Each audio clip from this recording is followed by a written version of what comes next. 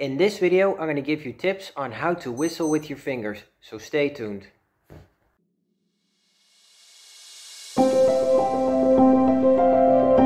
Tip 1. Position your finger. Form a U shape with your thumb and forefinger or middle finger. Tip 2. Place in mouth. Place your fingers partly inside your mouth, wrapping your tips tight across your teeth. Only the outer edges of your lips should be visible. Tip 3. Position tongue. Flatten your tongue to cover the bottom portion of your mouth.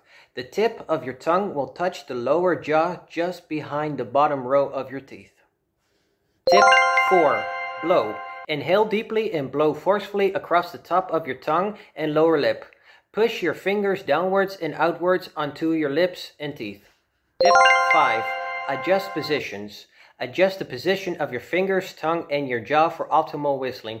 Regulate the force of air for your maximum effort and volume. Tip 6. Most importantly, practice. Practice regularly until your desired whistle is achieved.